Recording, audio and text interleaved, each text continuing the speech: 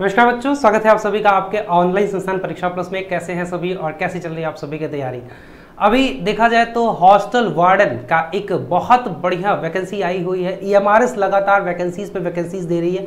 हमने पहले ही बताया था बहुत सारी वैकेंसीज आने वाली हैं, कई सारे फेजेस में आने वाली हैं। दो फ़ेज़ आपको देखने को मिल गया है, एक आपका पीजीटी वाला था, दूसरा आपका टीजीटी में हॉस्टल वार्डन टीजीटी और लाइब्रेरियन का आ गया है।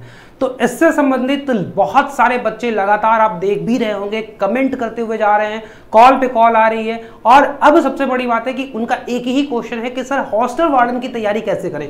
और हॉस्टल वार्डन में सबसे बड़ी बात यह है कि जो उनका एक स्पेशल सब्जेक्ट दे दिया है एडमिनिस्ट्रेटिव एप्टीट्यूड का, उसके बाद अगर देखा जाए पॉक्सो जो एक्ट है, इसके बारे में, और फिर जो जनरल अवेयरनेस का एजुकेशन से संबंधित है, और चौथा आपका आईसीटी सबसे ज़्यादा जो आपके प्रश्न है, मुझे पता है, इन्हीं से हैं, वो आप लगातार कॉल कॉल करके पूछ रहे हैं, आप लगातार यहाँ पे मैसेज दे रहे हैं, उन सबका सॉल्यूशन यहाँ पे मैं लेके आया हूँ। अगर आप चैनल पे नए हो चैनल को सब्सक्राइब अवश्य कर लीजिएगा। ईएमआरएस की किसी भी वैकेंसी के लिए एकमात्र जो कंप्लीट सोल्यूशन संस्था परीक्षा प्लस है, सब कुछ आपको बहुत बेहतरीन तरीके से दे रही है। मैं सब कुछ बताऊँगा, इस वीडियो में थंबनेल आपने देख लिया होगा। एक बहुत अच्छी रणनीति कि हमें कैसे तैयारी करना है, किसका वार्डन का ईएमआरएस के हॉस्टल वार्डन का सबसे बड़ा जो प्रश्न आपका आता है, सर, वार्डन में होता क्या, कौन है? इनकी जॉब प्रोफ़ाइल क्या है? तो जॉब प्रोफ़ाइल की मैं अलग से वीडियो बना दूँगा और वो वीडियो भी इसी डिस्क्रिप्शन में आपकी लग भी जाएगी। अभी आप इतना समझिए कि एक टीजीटी कैडर का ही केवीएस वगैरह में तो टीजीटी पीजीटी कोई वार्डन बना दिया जाता है यूनिवर्सिटीज में जाएँगे तो उनका और भी बड़ा भौकाल होता है। और यहाँ पे ईएमआरएस में भी अभी क्योंकि इन्होंने अलग ही निकाल दिया लेवल फाइव का है, पैंतालीस से पचास के बीच में आपकी सैलरी रहेगी, बहुत अच्छी जॉब है। सब कुछ मैं आपको बताऊँगा जॉब प्रोफ़ाइल में, लेकिन इसमें बताऊँगा, क्या आपका जो सेफ़ स्कोर क्या होगा? कितनी आपको मेहनत करनी है? ठीक है, मैं कट ऑफ़ की, कहने की बात यह है कि आपका जब पेपर होगा, उसके बाद आपको तैयारी क्या करनी, किस हिसाब से आपको तैयारी करनी है कि पेपर में पेपर के बाद आपको सोचना ना पड़े कि भाई हमारा सेफ़ स्कोर था कि नहीं था, इस लेवल पे आपका लेके जाएँगे। और ये जो तीन पार्ट आपका है एडमिनिस्ट्रेटिव एप्टीट्यूड पॉक्स और आईसीटी इसके बारे में बहुत अच्छी रणनीति और समग्र विषय में रणनीति हम लोग यहाँ पे करने वाले हैं। क्या कोचिंग होनी चाहिए? सेल्फ स्टडी कर सकते हैं। किताबें कौन सी होनी है? कहाँ से मिलेंगी? कौन से पब्लिकेशन की? पीडीएफ कितनी हेल्पफुल होंगे? सेफ़ स्कोर क्या रहेगा? और टेस्ट हमें कब करना है, कैसे करना है कहाँ से करना है? सब कुछ आपको इस वीडियो में मिलने वाला है। तो अगर आप चैनल पे नए हो सब्सक्राइब अवश्य कर ले चैनल। ये जो कोर्स है, उसके बारे में, हालाँकि मैं इसके बारे में अभी ज़िक्र नहीं करूँगा। अभी मेरा फोकस जो है, वो आपके कैसे तैयारी करें। एक जो स्टार्ट आपको चाहिए होता है, एक जो शुरुआत चाहिए होता है कि जो कॉन्फिडेंस की भाई हम जहाँ से जुड़ रहे हैं, हम जो अपनी तैयारी कर रहे हैं, क्या हम इसके लिए एलिजिबल है कि नहीं है? सब उसके लिए हम अपनी तैयारी कर पाएँगे कि नहीं कर पाएँगे? सबसे बड़ी बात यह है एलिजिबिलिटी में कोई भी ग्रेजुएशन हो, कोई भी ग्रेजुएशन हो सिंपल ग्रेजुएशन कोई मिनिमम परसेंटेज नहीं है, कितना भी परसेंटेज हो, अगर आप थर्ड डिवीज़न भी पास हो तो आप इसके फॉर्म भर सकते हो। केवल आपको एग्ज़ाम बीट करना है सिंगल स्टेज एग्ज़ाम है कोई इंटरव्यू नहीं है, सबसे अच्छी बात यह है। और एक सबसे अच्छी बात और है कि इसमें महिलाओं का अलग और पुरुषों का अलग है। मतलब दोनों के अलग अलग पद हैं, लगभग बराबर हैं, साढ़े छह सौ से सात सौ के बीच में पद हैं। छह सौ सत्तर पद लगभग कम नहीं होते हैं, बहुत बेहतरीन पद है। अब सबसे बड़ी बात है कि इसका आपने पैटर्न देख लिया होगा तो ठीक, नहीं देखा होगा तो भी ठीक। मैं आपको सब कुछ डिटेल में बता दे रहा हूँ। सबसे पहले तो ढाई घंटे का पेपर है तो इस पेपर में आपको सिंगल स्टेज पेपर है, आपको दो पेपर नहीं देना है। एक दिन जमे जाना है ढाई घंटे बैठना है पेपर देख के आ जाना है। और ढाई घंटा मोर देन सफिशियंट समय होता है। आपको यह भी बता दूँ कि इसमें पॉजिटिव एक नंबर है और negative zero point two five number है। यहाँ से आपको माइंड मेकअप करके चलना है कि अब हमारी तैयारी कैसे होनी चाहिए। अब इसमें कुछ ऐसे विषय हैं कुछ ऐसे विषय। मैं ये बात क्यों बार बार बोल रहा हूँ कि ये जॉब सबसे आसान जॉब में से आपके लिए है। पहली बात बहुत सारे बच्चे इसलिए फॉर्म को नहीं भरेंगे क्योंकि वो आ, अपना गृह जनपद नहीं छोड़ना चाहते हैं क्योंकि वो जहाँ पे रहते हैं वहीं जहाँ पे है वो वहीं पे ही अपनी जॉब चाहते हैं, अपने घर के पास चाहते हैं तो वो फ़िल्टर हो जाते हैं। दूसरी बात, बहुत सारे बच्चों को जानकारी का अभाव रहता है। तीसरी बात ये रहता है कि इनमें नई चीज़ें हैं तो सब लोग sailing in the same boat सबकी स्थिति समान है। सबकी स्थिति समान है कहने का मतलब ये हो गया कि इसमें कुछ पार्ट कुछ पार्ट ऐसे हैं जिसमें, अभी देखा जाए, जैसे नॉलेज ऑफ़ पॉक्सो ये हो गया एडमिनिस्ट्रेटिव एप्टीट्यूड अब ये पार्ट बिल्कुल नया है मतलब आप कहीं भी जाओगे, ना तो इसकी कोई किताब है पहली बात ना ही इसका कोई कोर्स है, ना ही इसका कोई अभी तक सिलेबस था जो सिलेबस भी बताया है, वो इन्होंने भी बताया और सबसे ज़्यादा बच्चे इससे घबराए भी हुए लेकिन जब ये नया है तो सबके लिए नया है और जब कोई चीज़ सबके लिए नहीं होती है तो ना कोई पहले की तैयारी, ना कोई बाद की तैयारी,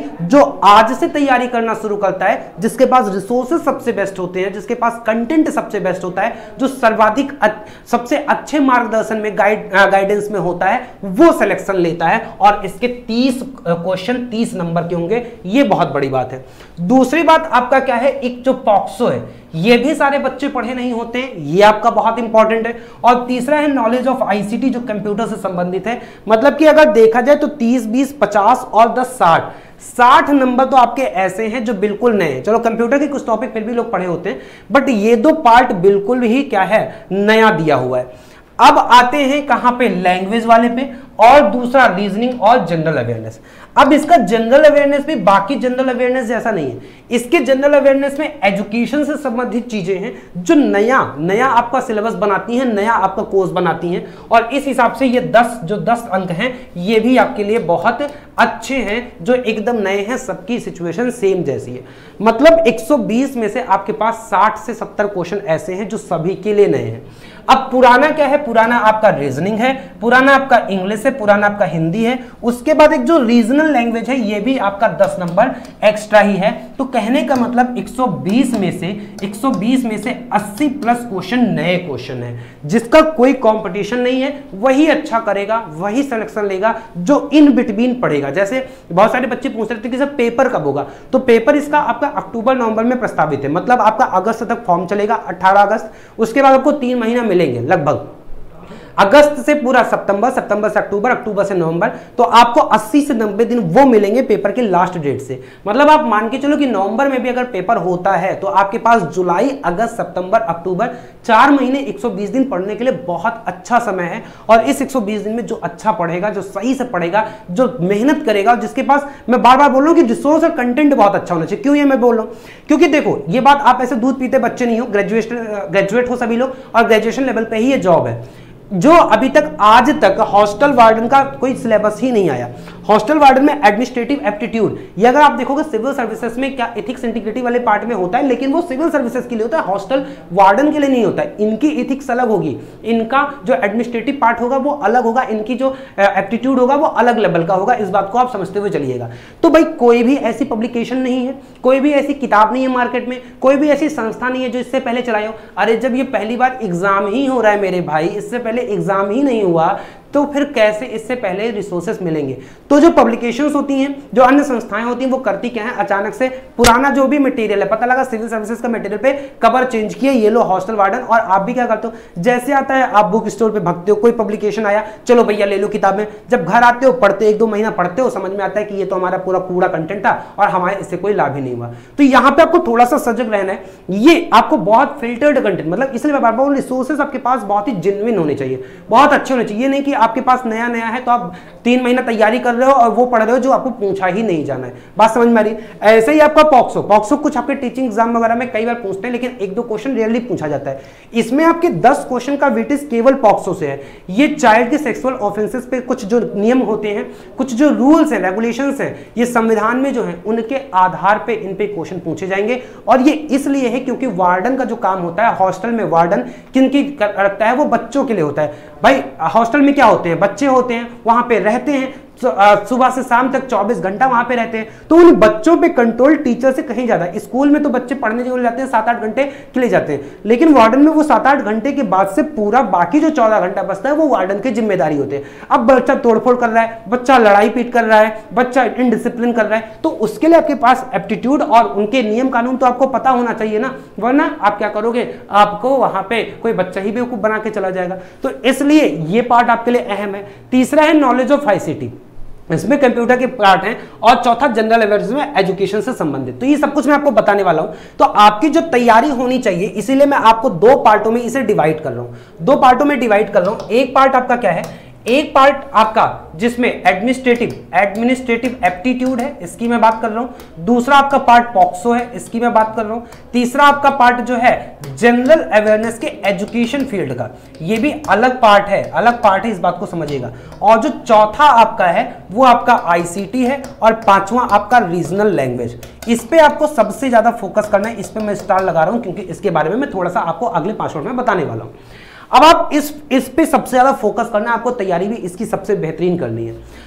रही बात जो बचे हुए पार्ट हैं, जैसे आपका क्या बच रहा है? यहाँ पे इसके बाद आपका बच रहा है रीजनिंग इसके बाद रीजनिंग बच रहा है, इसके बाद आपका हिंदी बच रहा है, और इसके बाद आपका क्या बच रहा है? इंग्लिश बच रहा है। ये आपके तीन पार्ट बच रहे हैं, जो कॉमन पार्ट है, जो हर बच्चा पहले से भी पढ़ा होता है, आप भी पहले से कहीं ना कहीं पढ़े होगे, चाहे फ्रेशर हो होगे, चाहे तैयारी कर रहे होगे। तैयारी कर रहे होगे तो नो डाउट आपको पहले से ही इतना वेटेज लेके चलना है कि हम इसमें अच्छा परफॉर्म करेंगे। फ्रेशर भी हो तो घबराने वाली बात नहीं है। जैसे रीजनिंग बीस क्वेश्चन है। अब बीस क्वेश्चन आपके पास समय चार महीने हैं, और टाइम भी एग्ज़ाम में ढाई घंटा मिलेगा। मतलब बाकी जो केवल आप क्वेश्चन पढ़ना है टिक करना है रीजनिंग में केवल सॉल्व करना है तो आपके पास ढाई घंटा बहुत समय होता है। ढाई घंटा 150 मिनट बहुत समय होता है आपको रीजनिंग के 20 क्वेश्चन करने के लिए 40 मिनट से ज़्यादा इवन हो सकता है एक घंटा, क्योंकि डेढ़ घंटे में बाकी आप क्वेश्चन कर ले जाओगे। एक घंटे में 20 क्वेश्चन रीजनिंग अगर आप थोड़ा भी दिमाग चलता है, आप केवल कॉन्सेप्ट जानते हो तो आपके बीस में बीस सही हो जाएँगे। मतलब ये कि पहली बात तो मैं आपको ये बोलने वाला हूँ कि आपको आपका टारगेट क्या होना चाहिए? जब भी आप किसी चीज़ की तैयारी करते हो ना तो आपको अपना एम फिक्स करना होता है टारगेट फिक्स करना होता है। इस तैयारी में आपको क्या करना है? इस 120 नंबर में आपको 95 95 प्लस का टारगेट लेके चलना ये बात क्यों मैं बोल रहा हूँ? क्योंकि भले ही इसमें ठीक ठाक पद है 700 पद कम नहीं होते हैं, महिलाओं का अलग है, पुरुषों का अलग है, लेकिन जब ये किस पे हम बात करते हैं ऑल इंडिया लेवल पे बात करते हैं तो कभी भी ऐसा नहीं देखा गया है कि जो कट ऑफ़ है, वो 75 से 80 परसेंट से कम रहता हो। तो आपको अभी मान के चलना है। चलो, ये पेपर कट ऑफ़ तो डिपेंड करता है कि पेपर का लेवल क्या रहा है क्वेश्चन कैसे पूछे गए हैं नंबर ऑफ़ फॉर्म्स कितने पड़े हैं, उसमें बैठने वाले बच्चे कैसे हैं, तमाम चीज़ों पे। लेकिन जो एक एवरेज कैलकुलेशन अगर मतलब कि एनालिसिस किया जाए तो कोई भी सेंट्रल लेवल का ऐसा एग्ज़ाम कट ऑफ़ कभी भी पचहत्तर से अस्सी कम नहीं जाता, इससे ज़्यादा ही जाता है। मतलब अगर आपका 120 क्वेश्चन है 120 नंबर है, इसका अगर मैं 80 परसेंट निकाल लू, इसका अगर मैं 80 परसेंट निकाल लू तो आपका छियानवे क्वेश्चन होता है और पचहत्तर परसेंट निकाल लूँ तो आपका कितना होता है? नब्बे क्वेश्चन होता है। मतलब आपका टारगेट नब्बे से पंचानवे क्वेश्चन वो भी करेक्ट वो भी करेक्ट करने हैं, क्योंकि आपका निगेटिव मार्किंग है। चार क्वेश्चन गलत करोगे तो एक क्वेश्चन आपका काट लिया जाएगा ज़ीरो की निगेटिव मार्किंग भी है। तो हमें इस टारगेट को अचीव करना है। अब आपने एक टारगेट बना लिया, ये आपका एक कट ऑफ़ हो गया। अब इस टारगेट तक पहुँचना कैसे? इस टारगेट में आप कैसे पहुँच सकते हो? जैसे रीजनिंग हुआ, जैसे रीजनिंग हुआ। ये अगर आप जितना, इतना मैं बोल रहा हूँ कि जितना आपको क्लास में पढ़ाया जा रहा है, जो आपको प्रैक्टिस सेट दिए जाएँगे, जो आपके क्विज कराए जाएँगे, केवल आपको उतना करना है। इसके अलावा कुछ नहीं देखना है, कुछ भी नहीं देखना है। अगर आप इतना कर लोगे तो यकीन मानो बीस में बीस रीजनिंग में बच्चे उठाते हैं और आप भी उठाओगे। तो जहाँ से स्कोरिंग सब्जेक्ट है, उसमें हमें फुल में फुल लेके आना है। कहीं ह्यूमन एरर हो गया, एक दो नंबर चला जाता है तो कोई बात नहीं, घबराना नहीं है। हम मान के चलेंगे कि 20 पे 20 हमें इसमें गुड अटेम्प्ट करके आना ही आना है। इसके बाद आपका आता है दूसरा हिंदी। जो हिंदी भाषी क्षेत्र के बच्चे हैं 10 क्वेश्चन आएगा 10 में 8 प्लस तो बहुत आराम से डुएबल होता है। और अभी सिलेबस भी मैं आपको दिखाऊँगा तो हिंदी में क्या बोला है? कंप्रहेंशन ग्रामर और वो क्या हिंदी और इंग्लिश पढ़ने का भी मैं तरीका अगले पाँच में बताता हूँ, बस आप पहले इसे समझो। और ऐसे इंग्लिश भाषी जो क्षेत्र हैं, वो भी आठ प्लस अब ऐसा हो सकता है, इंग्लिश भाषी क्षेत्र वाले बच्चे मतलब कि जो इंग्लिश मीडियम के बच्चे हैं, उनका हिंदी में एक दो नंबर कम हो जाए। तो आप यहाँ पे उठा लो, और हिंदी वाले को इंग्लिश में कम हो जाए तो आप उठा लो। ओवरऑल दोनों मिला के पंद्रह, दोनों मिला के पंद्रह डुएबल हैं। ये आपका स्कोरिंग सब्जेक्ट है। तीसरा जो आपका स्कोरिंग सब्जेक्ट है, वो है आपका आईसीटी जो कंप्यूटर वाला पार्ट है। इसमें भी मैं इतना बोलूँगा कि जितना आपको केवल पढ़ाया जा रहा है, बस उतना पढ़ो जो नोट्स आपको दिया जा रहा है, वही पढ़ो बार बार नोट्स पढ़ो मल्टीपल टाइम्स पढ़ो। आप यहाँ के नोट्स पढ़ो, या आपको जो भी किताबें आपके पास हो, जो अच्छी लगे, आप उन्हें पढ़ो।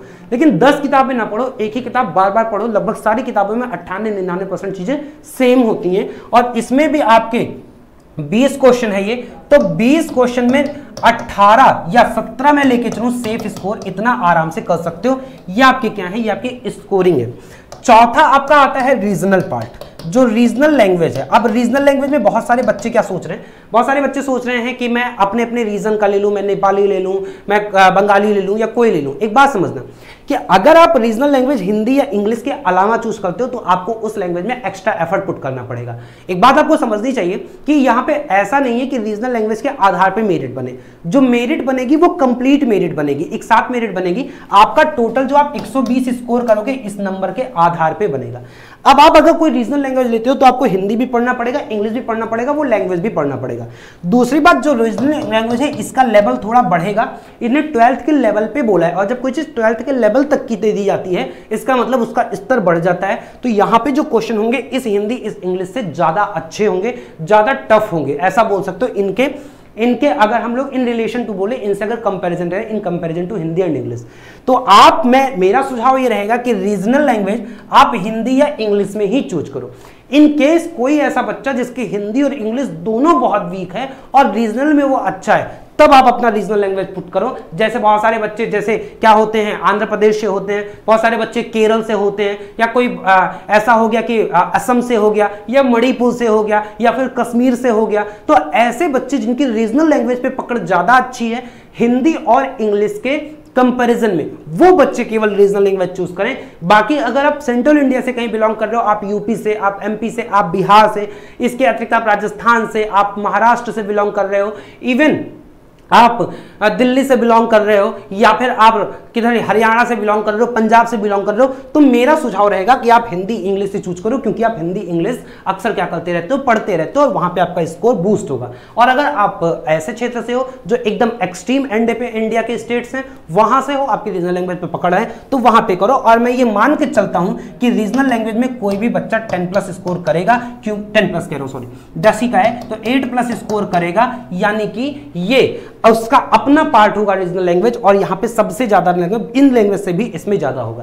कहने का मतलब ये कि अगर मैं इन तीनों में से, इन तीनों में से 22 से 25 नंबर अगर मैं लेके चलूँ 22 से 25 क्वेश्चन तो वो गलत नहीं होगा। मतलब 20 में 20 आपको रीजनिंग का टारगेट करना है 22 से 25 आपको लैंग्वेज का टारगेट करना है और 17 आपको कंप्यूटर का टारगेट करना है। इन केस आपका कम हो जाता है तो 15 भी टारगेट कर लोगे तो बुरा नहीं है। यानी बीस, पंद्रह, पैंतीस पैंतीस और अगर पच्चीस लेकर चला जाए तो साठ क्वेश्चन मतलब फिफ्टी परसेंट 50 परसेंट नंबर आपका 60 आउट ऑफ़ 120 आपके केवल इन सब्जेक्ट से आ सकते हैं। अब इनके रिसोर्सेज क्या होने चाहिए? मैं वो भी एक बार दिखा देता हूँ। रिसोर्सेज क्या है? मैं सब कुछ बताऊँगा। रिसोर्सेज एक बार मैं दिखा देता हूँ जो बुक्स है, जो बुक्स हैं, उनको आप देखो। परीक्षा प्लस एकदम डेडिकेटेड किताबें इसके लिए निकाल रही है। डेडिकेटेड किताबें मतलब अब आप एडमिनिस्ट्रेटिव एप्टीट्यूड का देखोगे।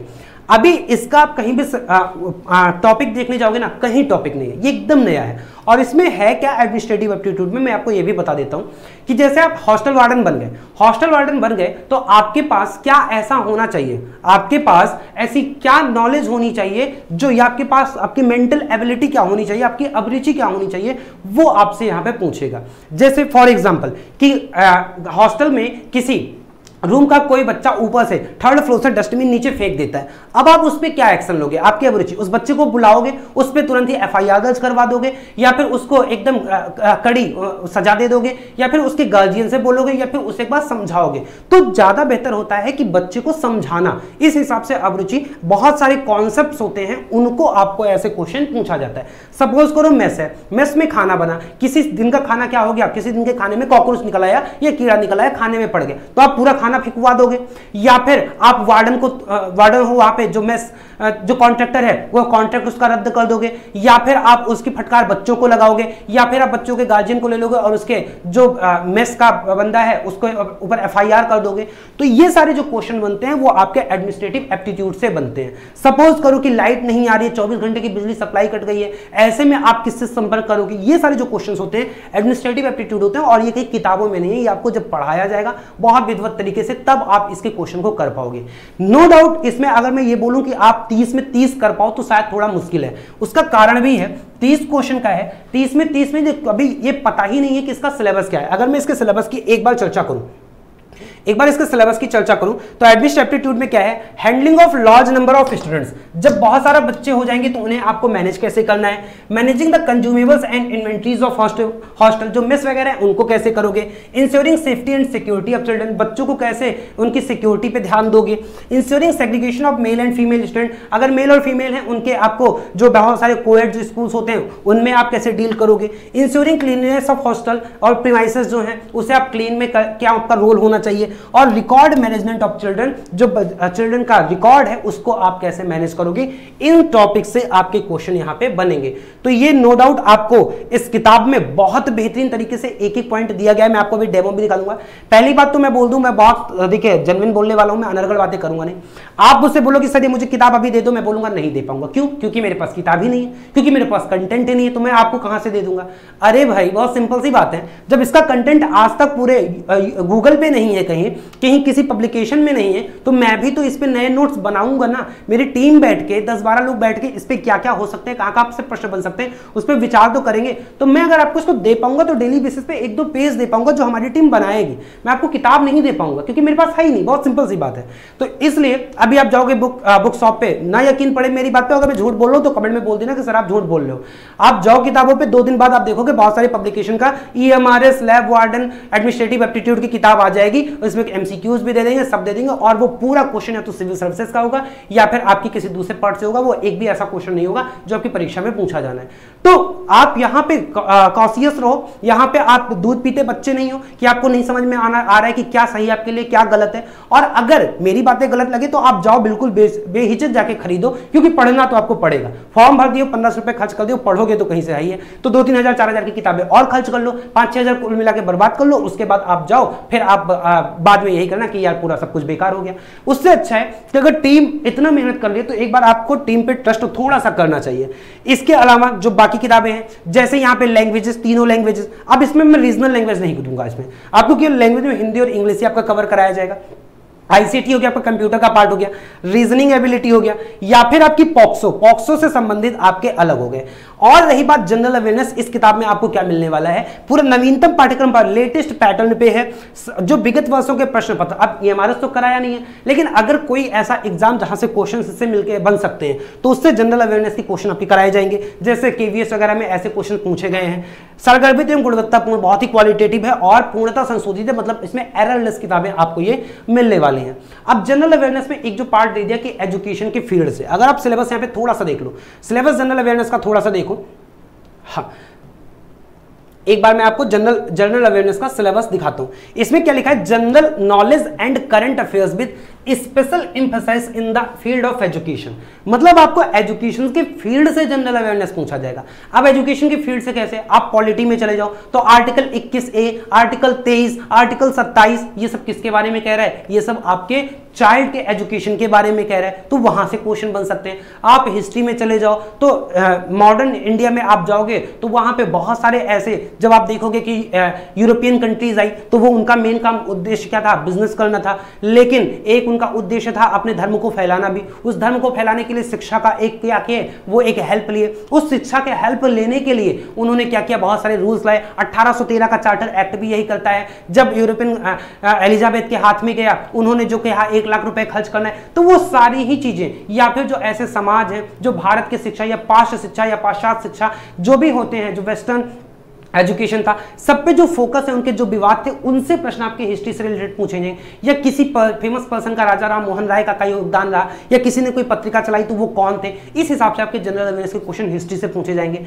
ज्योग्राफी में अगर आपसे पूछेगा तो ऐसे पूछेगा कि फ़ेमस जो आपके इंस्टीट्यूट हैं वो कहाँ हैं उनके प्लेसेस पूछेगा। इस इंस्टीट्यूट की स्थापना कब हुई इसके संस्थापक कौन थे ये आपसे क्वेश्चन पूछेगा। मदन मोहन मालवीय ने क्या किसकी स्थापना की? ये बनारस हिंदू यूनिवर्सिटी के बारे में पूछेगा इलाहाबाद यूनिवर्सिटी यूनिवर्सिटी कब आया?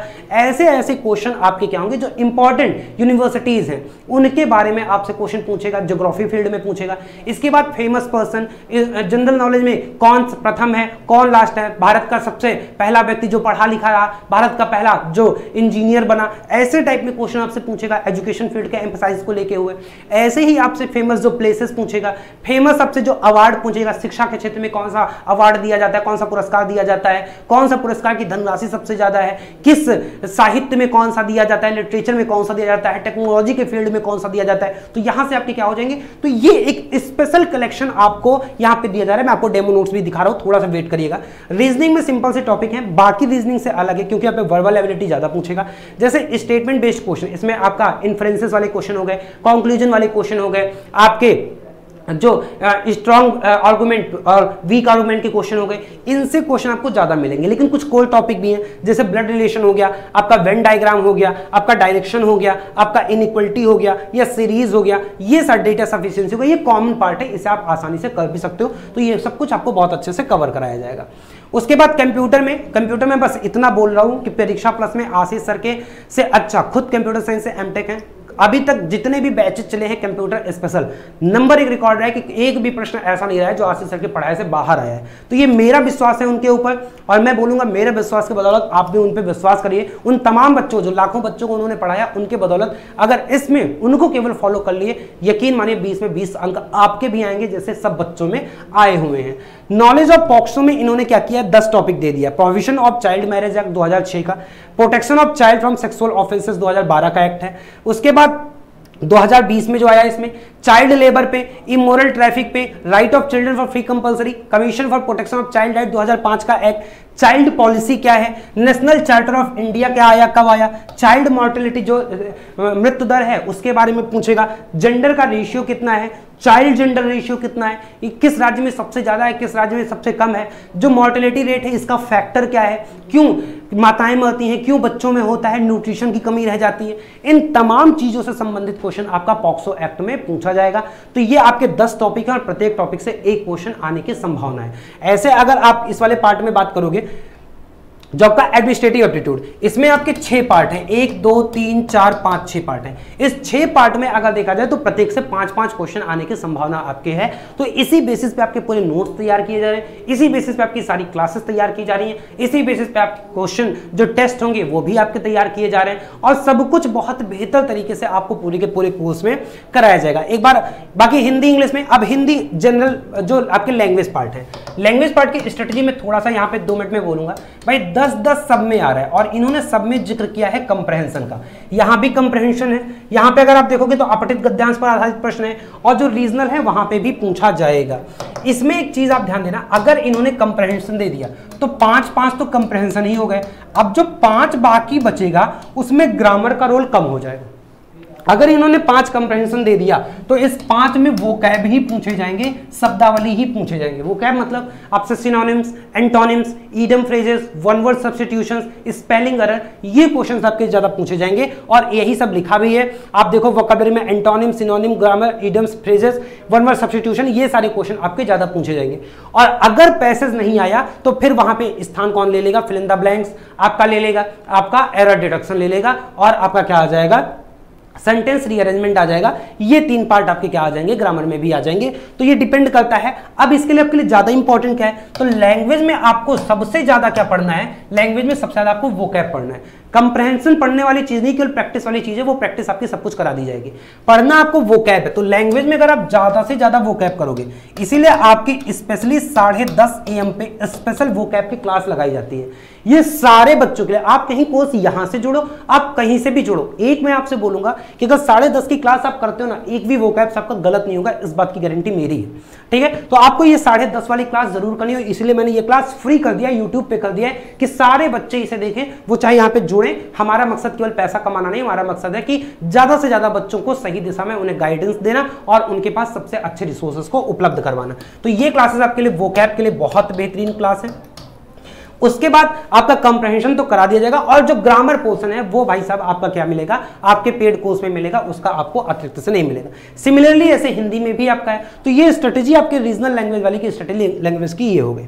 अब बहुत सारे बच्चे बार बार ये सोच रहे होंगे कि, सर, मुझे एक बार डेमो दिखा दीजिए कि नोट्स के डेमो क्या है। अगर मैं कोर्स परचेज करना चाहूँ तो वो नोट्स कैसे होंगे? अब आप देखो, जैसे इसमें बाल विवाह प्रतिषेध अधिनियम 2006 पहली बात तो आप घबराइएगा नहीं कि ये नोट्स आपको हिंदी में मिलेंगे। नोट्स आपको जो मिलेंगे वो बाइलिंगुअल मिलेंगे, दोनों लैंग्वेज में मिलेंगे, हिंदी और इंग्लिश जैसे आपको ये हिंदी में दिख रहा है ना, बाल विवाह प्रतिषेध अधिनियम 2006 तो आपको इसी का पूरा का पूरा आपको इंग्लिश में भी सेम नोट्स मिलेगा। इसमें संक्षिप्त नाम क्या है ये, उसके बाद इसमें परिभाषाएँ क्या है, फिर आप इसमें इंपॉर्टेंट आओगे तो बाल जो बाल विवाह का संबंध है या बंधन में आने वाले पक्षकार हैं, उनसे संबंधित आपके प्रश्न होंगे। या फिर जो आपके टॉपिक यहाँ पे दिया, बाल विवाह से जन्मे बालकों का जो भरण होता है, उससे बाल विवाह करने वाले पुरुष व्यस्त के लिए दंड क्या है? ये सारी ही चीज़ें आपका बाल विवाह के अनुष्ठान क्या है? बाल विवाहों का प्रतिशत क्या होना चाहिए? उसके बाद आप देखोगे तो अपराधों का संज्ञ बाल विवाह प्रतिशत अधिकारी। ये आपका ऐसे जो पॉक्सो एक्ट वाला है, ये रीजनिंग आपका बाइलिंग वाले हिंदी क्वेश्चन भी इंग्लिश क्वेश्चन भी साथ में आपको, ये प्रैक्टिस सेट आपको रीजनिंग के लिए दिया जाएगा। इसके अतिरिक्त आपको इंग्लिश में भी, इंग्लिश में ऐसे बनाया गया है, अगर आप देखोगे चाहे इंग्लिश मीडियम का बच्चा हो, चाहे हिंदी मीडियम का, इंग्लिश को भी इतना बेहतरीन नोट्स दिया जा रहा है कि आप इसे केवल पढ़ते जाओगे, आपका सब कुछ बहुत बेहतरीन तरीके से हो जाएगा, चाहे आप हिंदी माध्यम के बच्चे भी हो तो अभी आप इंग्लिश में हंड्रेड में हंड्रेड लेके आओगे मतलब कि दस में दस नंबर लेके ही आओगे, अगर आपने अच्छे से पढ़ लिया तो। और अगर आप इंग्लिश क्षेत्र से हो तो आपको नो डाउट एक बार पढ़ लोगे तो पूरे ग्रामेटिकल रूल्स आपको समझ में आ जाएँगे। इसके अतिरिक्त आपको वोकैप की अलग से पीडीएफ वोकैप की अलग से पीडीएफ जैसे एम्बिगियस मतलब क्या होता है एलोकेट मतलब क्या होता है? इनकी आपको अलग से दिया जा रहा है। ऐसे ही आपको हिंदी का हो जाएगा। ऐसे ही आपके सारे पार्ट अब यहाँ पे ऐसा पी जनरल अवेयरनेस वाला पार्ट देखो। इसमें जनरल अवेयरनेस के भी सारे पार्ट जो आपके इंपॉर्टेंट चीज़ है। प्राचीन इतिहास में क्या इंपॉर्टेंट है? आपका मॉडर्न इंडिया में क्या इंपॉर्टेंट है? या फिर ये कंप्यूटर के नोट्स एक बार आप देख लो। कंप्यूटर में भी बहुत विधवत तरीके से सारे नोट्स आपको यहाँ पे दिए गए तो सारा इसलिए मैं एक बार कलेक्शन लगवा के लेके आया हूँ कि एक एक चीज़। अब एकस क्या होता है? है ना? उसमें एक्सैक्ट क्या है? एक एक चीज़ बहुत बेहतर तरीके से और इंग्लिश और हिंदी दोनों ही माध्यम से। मैं एक बार आपको इंग्लिश वाला भी नोट्स दिखा दूँ। इंग्लिश मीडियम का भी नोट्स दिखा दूँ, ताकि आपको ये ना लगे कि हाँ भाई केवल हिंदी में मिलेगी। ये आपकी क्या है? इंग्लिश मीडियम के नोट्स हैं और as it is as it is notes होंगे, आपका केवल माध्यम चेंज होगा। सारी चीज़ें सेम होंगी। अब इंग्लिश इंग्लिश में ही रहेगा, हिंदी हिंदी में रहेगा। बाकी आप देखो यहाँ पे पॉक्सो वाला। पॉक्सो अगर यहाँ पे आप देखो तो the prohibition of child marriage act यहाँ पे एक टॉपिक लिया गया 2006 से, जो पहली टॉपिक है। उसके बारे में एग्जैक्टली आपका डेफिनेशन क्या है इन दिस एक्ट क्या है। उसके बाद आपका क्या है custody and maintenance of children child marriage सब कुछ आपका बहुत बेहतरीन तरीके से। सिमिलरली अगर आप कंप्यूटर के नोट्स देखोगे, या फिर आप रीजनिंग के नोट्स देखोगे, ठीक है, ये देखो। और कंप्यूटर में इतना अच्छा आपको पूरा फिगर लगा के सब कुछ समझाया गया है कि आपको लैपटॉप और कंप्यूटर खोलने की आवश्यकता ही नहीं पड़ेगी। आप केवल नोट्स पढ़ोगे, आज सर की क्लास करोगे तो सब कुछ आपको एकदम दिमाग में बैठ जाएगा। यही नहीं, अगर आप बाकी जनरल अवेयरनेस के नोट्स देखोगे तो सब कुछ आपका बहुत बेहतरीन तरीके से दिया जा रहा है। अब मैंने यहाँ पे आपको एडमिनिस्ट्रेटिव एप्टीट्यूड का नोट्स यहाँ पे नहीं दिखा रहा हूँ। कारण यह है कि उस पर टीम अभी वर्क कर रही है। वो मैं पहले ही बोल चुका हूँ जो मेरे पास अभी नहीं है वो मैं कैसे आपको दिखा दूँगा मैं गलत चीज़ें नहीं दिखाऊँगा। वो आपको बहुत बेहतरीन तरीके से आपको पूरा टीम का, काम कर रही है दिन रात मेहनत कर रही है और बहुत ही बेहतरीन कंटेंट आपको मिलने वाला है। तो अगर आप उम्मीद ये है कि इससे इस वीडियो सेशन से आपको बहुत ज़्यादा लाभ हुआ होगा और एक जो आपका परम उद्देश्य यह है कि सिलेक्शन लेना। देखो, कुछ चीज़ें हैं, साढ़े छह सौ, सात सौ पद कम नहीं होते हैं मेल फीमेल अलग है। बहुत अच्छी जॉब प्रोफ़ाइल है, बहुत अच्छी सैलरी है, आपको खुद का अपना घर मिलेगा वहाँ पे रहने के लिए, सारी सुविधाएँ मिलेंगी। तो आपका एक ड्रीम जॉब में से ये है। और जब ड्रीम जॉब है तो आपके लिए इसके सामदाम दंडभेद लगाना ही पड़ेगा। कुछ भी हो जाए। बहुत सारे बच्चे बोल रहे हैं फ़ीस बहुत महँगी कर दी। भाई हज़ार पंद्रह सौ खर्च कर लो ना, मैं जान रहा हूँ, थोड़ा सा सरकार गलत कर रही है यहाँ पे। बट क्या कर सकते जो मेरा और आपके हाथ में नहीं है, वहाँ पे थोड़ा सा मैं आपको ये समझाते हुए कि चलो, कोई बात नहीं। अगर मेरा सिलेक्शन हो गया तो ऐसे पता नहीं कितने पंद्रह अरे भाई, आप क्या बनने जा रहे हो? आप वार्डन बनने जा रहे हो हॉस्टल वार्डन बनने जा रहे हो। आप मेस का एक दो बोरा बेच दोगे, आपका पूरा फ़ीस का पैसा निकल आएगा। आप किसी कॉन्ट्रैक्ट को उस पर कर लोगे तो हो जाएगा। कहीं इधर उधर घपला कर ले तो हो जाएगा। बहुत ऊपरी पैसा भी जो आप सुनना चाहते हो, हालाँकि मैं इस चीज़ को प्रमोट नहीं करता हूँ एक मज़ाक जो का पार्ट है, ठीक है? बट फिर भी आप यहाँ पे पैसे मत सोचो, पैसे अगर एक बार सिलेक्शन हो जाता है तो निकालने के तो बहुत सारे तरीके हैं। इस बात को आप समझते हुए यहाँ पे चलना, ठीक है? तो अब इसका तैयारी करना है तो आपको टारगेट पचासी से, आपको जो नब्बे से पंचानबे नंबर लेके चलना है, पचहत्तर से अस्सी लेके चलना है, और ये आप तभी कर पाओगे जब एक बहुत ही कंसिस्टेंसी के साथ बहुत ही कड़ी मेहनत कर पाओगे। तो भाई, अगर आप मुझसे जुड़ते हो तो एक बात कहीं ना कहीं मैं आपको इस बात का एश्योर कराता हूँ कि जो रिसोर्सेस हैं, जो कंटेंट है, जो मटेरियल है, वो आपको टॉप क्लास की मिलने वाली है और इस बात की गारंटी मैं आपको देता हूँ कि जो भी क्वेश्चन होंगे, वो हमारे मटेरियल से कहीं बाहर नहीं होंगे। आप मुझसे ये बोलो, सर, मेरे सिलेक्शन की गारंटी ले लो। मैं कहूँगा, नहीं। सॉफ्ट रह जाओगे। क्यों? क्योंकि भाई सिलेक्शन मैं नहीं दिला रहा हूँ आपको। सिलेक्शन आप अपने बूते पे ले रहे हो और मैंने कोई संस्था सिलेक्शन नहीं दिलाती है। मैं आपको सबसे अच्छा मार्गदर्शन दूँगा, मैं आपको सबसे अच्छा रिसोर्स दूँगा, मैं आपको सबसे अच्छा कंटेंट दूँगा, मैं आपको सबसे सही कॉन्सेप्ट बताऊँगा, मैं आपको ये बताऊँगा कि आपके लिए सही है, कि आपका गलत है। और उस रास्ते को फॉलो कर लिए तो आपके सिलेक्शन की गारंटी आप खुद लिख लोगे। और अगर आप ये नहीं कर पाओगे, आप केवल इस भटकाव में रहोगे, नहीं, ऐसा नहीं, वैसा चार जगह ये करोगे तो शायद वो मैं नहीं कोई भी गारंटी नहीं ले पाएगा।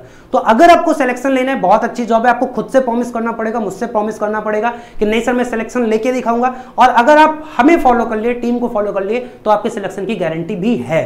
तो एक बार प्रॉमिस मुझसे करिए कि हाँ सर, आप जैसा बोलेंगे, मैं वैसा करूँगा। उन बच्चों के लिए जो कोर्स से जुड़ते हैं, जो कोर्स नहीं जुड़ रहे उनके बाद प्रॉमिस की बात ही नहीं रहती बट जो बच्चे जुड़ते हैं, उनसे मैं प्रॉमिस हमेशा माँगता हूँ। ये पहला और अंतिम ही रहता है मेरा प्रॉमिस और इसी प्रॉमिस के आधार पर सारी क्लासेस और सारे कंटेंट सारे रिसोर्सेज मैं आपको अवेलेबल करवाता हूँ। तो एक बार प्रॉमिस करिए, आपको खुद से भी करना पड़ेगा कि नहीं, मैं दिन रात मेहनत करूँगा, मैं कंसिस्टेंसी लेके आऊँगा, मैं जो सर बताएँगे फॉलो करूँगा, जो मटेरियल देंगे उसे पढ़ूँगा, मैं मल्टीपल टाइम पढ़ूँगा, अच्छे से रिवाइज करूँगा टेस्ट दूँगा और इतना कर लेंगे तो आपका सिलेक्शन मैं दिलाऊँगा, इस बात की गारंटी है।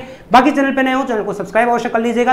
कोर्स लेने के लिए मैं आपको इतना बता दूँ, हालाँकि मेरा ये फोकस कभी नहीं होता बट बहुत सारे बच्चे क्योंकि कंफ्यूज रहते हैं कॉल करके परेशान करते रहते हैं। आप हमारा गूगल प्ले स्टोर पर जाओगे, परीक्षा प्लस ऐप डाउनलोड कर सकते हो। परीक्षा प्लस ऐप का लोगो आप देखोगे तो ये बहुत बेहतरीन लोगो ही मैं लोगो से ही देख के खुश रहता हूँ, आप भी खुश हो जाइएगा। यहाँ पे आपको कुछ ऐसा इंटरफेस देखने को मिलेगा, बहुत अच्छा है। आप ऐप इंस्टॉल कर लो, या फिर जो ऐप नहीं इंस्टॉल कर रहे हैं, या डायरेक्ट वेबसाइट पे आप डेमो वगैरह देखना चाहते हो तो live dot Pariksha plus dot O R G कहाँ पर आपको जाना है? Live dot Pariksha plus dot O R G live dot Pariksha Pariksha की स्पेलिंग एक बार आप देख लो, परीक्षा प्लस डॉट ओ इसको आप अपने क्रोम में खोलोगे तो ये वेबसाइट आएगा और आप बाहर ही सब कुछ देख सकते हो, जैसे ई एम वार्डन का कोर्स है यहाँ पे। तो एम आर वार्डन की आपकी सारी डिटेल यहाँ पे जो लगी हुई है। अब जो जो E M vacancy computer model हो गया यहाँ पे, ये सारी वीडियो देख सकते हो, जो पीडीएफ लगी है, इन्हें आप देख सकते हो। सब कुछ यहाँ पे आप डेमो में भी फ्री देख सकते हो, जो भी आपके भी फ्री कंटेंट दिए गए हैं। बाकी जो पेड होंगे, वो तो आपको क्या होंगे, वो आपको कोर्स परचेज करने पर ही देखने को मिलेगा। इसके अतिरिक्त भी ई के बहुत सारे कोर्सेज इसके अतिरिक्त ई के जितने भी जेएससी का है या फिर आपका लैब अटेंडेंट का है, सारे ही बैच आपके चलाए जा रहे हैं, यहाँ पे आप देख सकते हो। लैब अटेंडेंट हो गया जेएससी हो गया एम आर एस की TGT English TGT Hindi TGT match चलाए जा रहे हैं। टीजीटी वालों के लिए पार्ट वन टू और थ्री और फोर जो आपका है, वो आपका अलग से कर दिया गया है, ताकि जो बच्चे सब्जेक्ट के अलावा इन पार्ट को पढ़ना चाहें वो भी कर सकते हैं। इसके तक भी बहुत सारे कोर्सेज है, जब आप जाओगे तो वहाँ पे देख सकते हो। जो भी आपको समझ में वो कोर्स आप ले सकते हो। हाँ एक बात बच्चा बार बार बोलता रहता है, सर, जिसको तीनों तैयारी करना हो, उसके लिए कोर्स क्या अलग अलग लेना पड़ेगा? बच्चों, देखो कोर्स हमने बहुत ही मिनिमम फ़ीस में रखा है सिक्स नाइन नाइन ही है, इससे कम नहीं हो पाएगा। एक मैं आपको इतना कर दे रहा हूँ कि कोई बच्चा दो के अलावा तीन कोर्स लेना चाहता है। तो उसके लिए तीसरे कोर्स की फ़ीस ना लगे। आपका देखा जाए तो पाँच सौ बानवे, पाँच सौ बानवे प्लस जीएसटी ये पाँच सौ बानवे ही कोर्स है। जीएसटी में ना मेरी होती है ना आपकी होती है, ये बात आप समझते हुए चलेगा छह सौ निन्यानवे आपको पड़ेगा। छह सौ निन्यानवे अगर तीन का करेंगे तो सात्विक इक्कीस सौ रुपए। तो उस बच्चे को इक्कीस सौ ना देके अभी आपका कोर्स आ जाएगा। और वो जो कॉम्बो बैच होगा, वो आपका इतना मैं कर सकता हूँ कि इक्कीस सौ ना करके ओनली सिक्सटीन हंड्रेड 1600 टोटल आपको पड़े, ताकि आपका, अब इसमें हमने कोई तीसरे बैच का फ़ीस ही नहीं लिया। जो दो बच्चा तैयारी कर रहा है, वो तीसरे का भी तैयारी निशुल्क में ही कर ले, ताकि सात सात चौदह सौ वैसे हो गए, और दो सौ रुपए हमारी जो हैंडलिंग चार्ज चली जाती है, जो हमें सरकार को जीएसटी एसटी भरना पड़ता है, उससे कहीं ज़्यादा लॉस है। तो इस कारण से मैं तीसरे कोर्स की जो बच्चा दो लेगा, वो तीसरी भी तैयारी कर ले, उससे मैं कोई शुल्क नहीं ले रहा हूँ। इतना मैं आपको मदद कर दे रहा हूँ। ये कॉम्बो इसमें आपका जीएससी भी है, इसमें आपका जीएससी भी है, इसमें आपका लैब अटेंडेंट भी है, इसमें आपका वार्डन भी है। ये तीनों ही कोर्सेस आपको इसमें दे दिए गए हैं। मात्र सोलह सौ रुपए में तीन कोर्स आप सोलह सौ में ले सकते हो, ये आपके लिए मैं कर दे रहा हूँ। बाकी इसके अतिरिक्त तो कोई क्वेरी है तो आप नीचे कमेंट बॉक्स में हमें कर सकते हो, या हमारा number nine four five triple zero six double zero seven और nine one two nine six nine seven zero eight zero seven zero eight zero इस पर आप क्या कर सकते हो, इस पर आप कॉल कर सकते हो सेवन ज़ीरो एट ज़ीरो इस पर आप कॉल कर सकते हो। तो ये नंबर कर सकते हो, या फिर कमेंट बॉक्स में कर सकते हो, आपकी सारी समस्याओं का हल प्रदान किया जाएगा। बाकी आप गूगल प्ले स्टोर से ऐप अवश्य इंस्टॉल करें और कोर्स से जुड़े। जुड़ते हैं तो फिर हम लोग कोर्स में मिलते हैं, फिर मिलेंगे। कोर्स में बहुत बहुत धन्यवाद सभी का बहुत बहुत आभार।